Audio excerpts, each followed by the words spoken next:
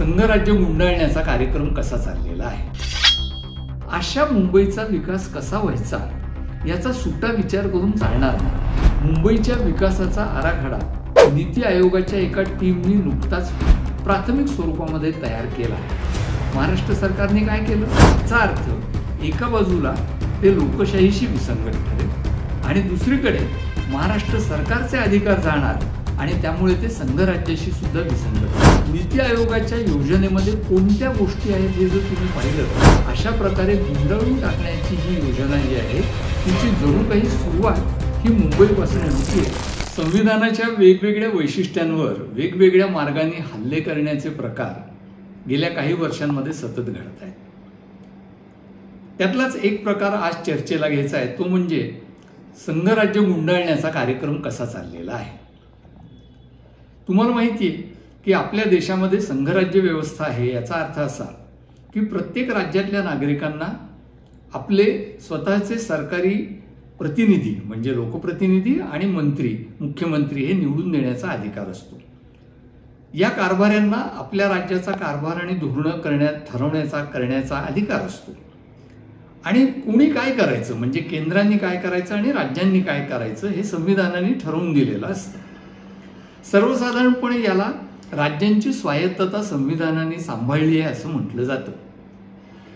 या संघराज्य पद्धतीवरती कायदेशीर मार्गाने फारसा काही आघात आत्ता होत नाही. पण आत्तापर्यंत गेल्या काही महिन्यांमध्ये आपण चर्चा केली ते मुद्दे जरी तुम्ही आठवले तरी तुम्हाला असं दिसेल की संघराज्याच्या या वैशिष्ट्यांना धक्का लागतील अशा प्रकारचे अनेक प्रयोग चाललेले होते. म्हणजे उदाहरणार्थ राज्याच्या परवानगीशिवाय राज्यातल्या कुठल्याही प्रकरणावर सीबीआयची चौकशी लावणं किंवा हिंदीचा आग्रह धरणं किंवा अगदी साधं म्हणजे डबल इंजिन नावाचा जो प्रकार हल्ली सांगितला जातो तो तर इतका प्रचलित झालेला आहे की जणू काही आपल्या संविधानाने केंद्रात आणि राज्यात एकाच पक्षाचं सरकार असलं पाहिजे असं सांगितलंय असं लोकांना वाटायला लागलेलं असणार. आता अगदी आजच्या वर्तमानपत्रांबद्दल बोलायचं झालं येत्या काही काळाबद्दल बोलायचं झालं तर एक देश एक निवडणूक हेही प्रकरण आता पुढे आलेलं आहे. पण त्याची चर्चा मी पुढच्या केव्हा तरी एखाद्या चर्चेच्या वेळेला करणार आहे. आज ही चर्चा करण्याचं कारण असं की अचानकपणे अशी एक बातमी बाहेर आलेली आहे की मुंबईचा विकास कसा करायचा हे आता महाराष्ट्र सरकार ठरवणार नाही. तर नीती आयोगाच्या एका टीमने ते ठरवायला सुरुवात केलेली आहे. त्याचा एक आराखडा सुद्धा सादर झालाय. म्हणजे दिल्लीत बसलेल्या काही तज्ज्ञांनी मुंबईच्या विकासाचा आराखडा ठरवायचा आणि महाराष्ट्राच्या मुख्यमंत्री आणि उपमुख्यमंत्र्यांनी त्याला माना डोलवायच्या असा हा अजब संघराज्याचा प्रकार नव्याने उदयाला येतोय. आता याच्यात महाराष्ट्रातल्या लोकांना तरी निदान मुंबईचं काय महत्त्व हे वेगळं सांगायची गरज नाही. अनेकांना हे माहिती असेल की महाराष्ट्र राज्य निर्माण करण्याची जी मागणी होती त्या मागणीतला सगळ्यात वादग्रस्त मुद्दा मुंबई महाराष्ट्राला मिळावी का नाही हा होता याचं कारण गुजरातचा सुद्धा मुंबईवरती दावा होता. आणि मग मुंबई महाराष्ट्रापासून वेगळी काढून केंद्राच्या अखत्यारीत आणावी असं काही लोकांना त्यावेळेला वाटत होतं. मोठ्या संघर्षानंतर महाराष्ट्राला मुंबई मिळाली. आणि त्यामुळे मुंबईचं नियंत्रण कुणाकडे असणार हा महाराष्ट्रामध्ये नेहमीच एक भावनिक मुद्दा असतो. असं असताना सुद्धा केंद्र सरकार स्वतःकडे मुंबईच्या विकासाची सगळी योजना ठरवण्याचं काम घेतं आणि महाराष्ट्र सरकार गप्प बसून त्याला मान्यता देतं हे किती विचित्र आहे.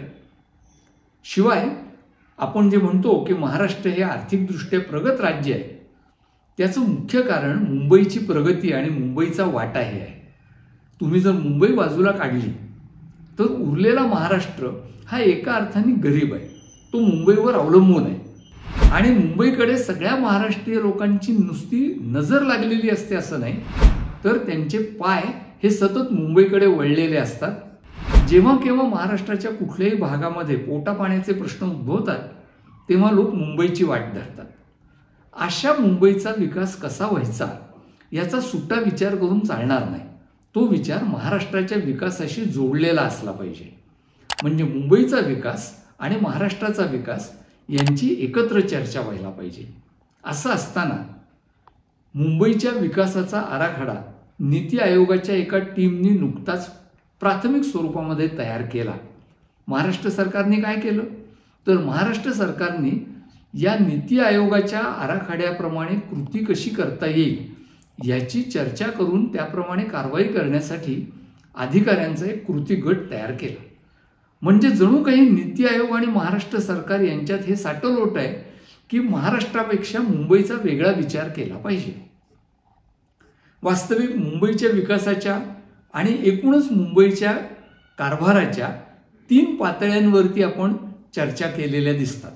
एक म्हणजे महाराष्ट्र सरकार आणि त्याचं नगरविकास खातं याच्याबद्दलचे काही निर्णय घेतं.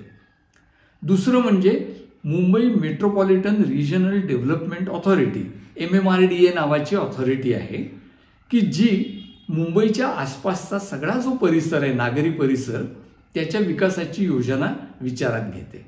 आणि मग खुद्द मुंबई शहर ज्याला म्हणतात त्या मुंबई महानगरपालिका किंवा बृहन्मुंबई महानगरपालिकेची जबाबदारी ही असते की प्रत्यक्ष मुंबईचा कारभार करायचा.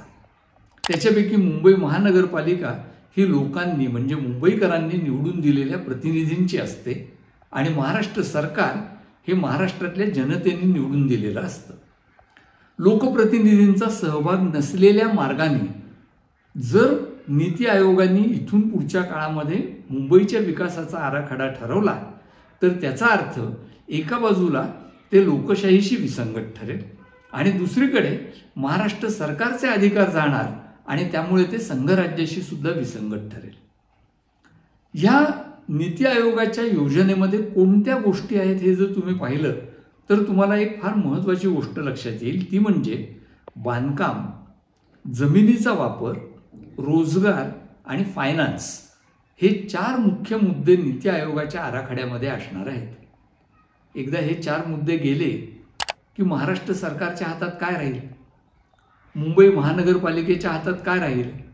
तर फक्त सरकारने आणि सरकारच्या अधिकाऱ्यांनी नीती आयोगाकडनं डिक्टेशन घ्यायचं आणि त्याप्रमाणे अंमलबजावणी करायची असा हा सगळा कारभार राहील.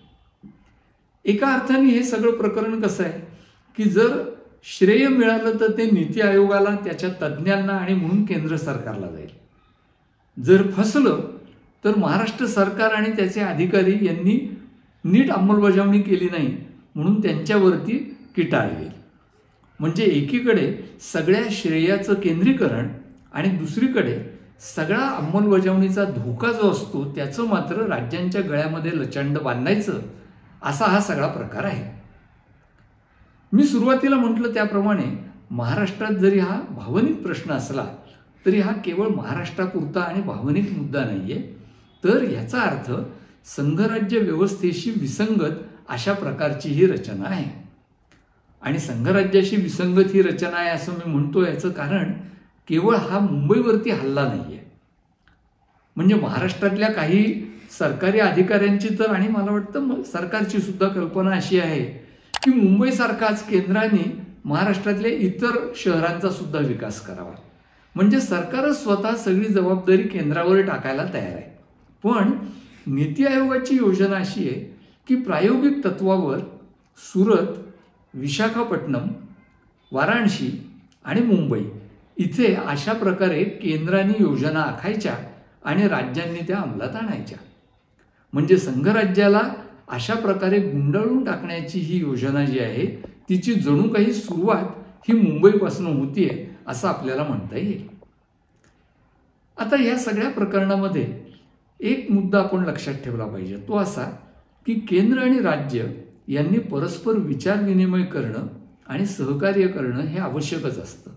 पण तरी सुद्धा आपल्या संविधानाने केंद्र आणि राज्य यांच्यामध्ये एक नाजूक अशा प्रकारचा इक्विलिब्रियम एक नाजूक अशा प्रकारचं संतुलन तयार केलेलं आहे.